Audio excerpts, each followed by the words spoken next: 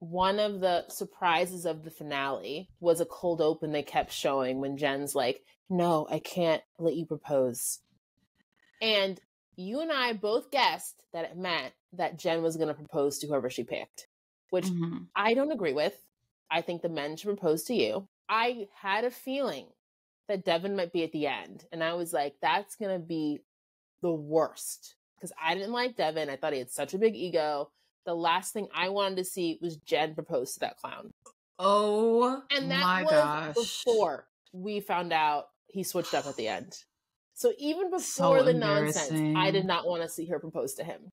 So the fact that she does propose to him, and then Devin switches up the second they're engaged and cameras stop rolling, and then Jenn has to watch the proposal back and is crying, I was livid, fuming, I'm fuming, bruv. I'm so fuming. upset. I not only for her, but for like women everywhere. It's just so embarrassing. And a reminder that you shouldn't propose to these men. That's the takeaway. That is the takeaway. Do not propose.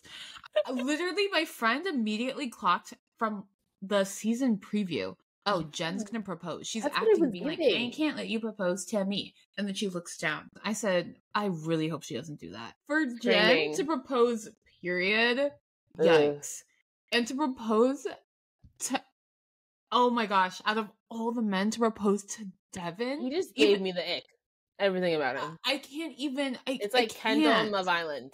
Oh Ick, my ick, gosh. ick. Even if he's the best man in the world, Yeah.